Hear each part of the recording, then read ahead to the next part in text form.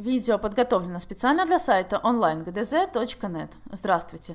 Сейчас мы выполним задание по русской литературе для пятого класса из учебника Коровиной. Раздел из русской литературы XIX века. Антон Павлович Чехов.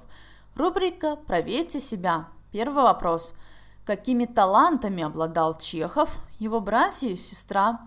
Как Антон Павлович относился к чтению? Ответим. Чехов был талантливый писатель и врач. Брат Александр стал писателем, брат Николай и сестра Мария – художниками, Михаил – литератором, Иван – педагогом. Будущий писатель очень любил читать, увлекался приключенческими и юмористическими произведениями. На этом все. Больше видео вы можете посмотреть на нашем канале. А если у вас есть вопросы или пожелания, то оставляйте их в комментариях под видео. Спасибо за внимание.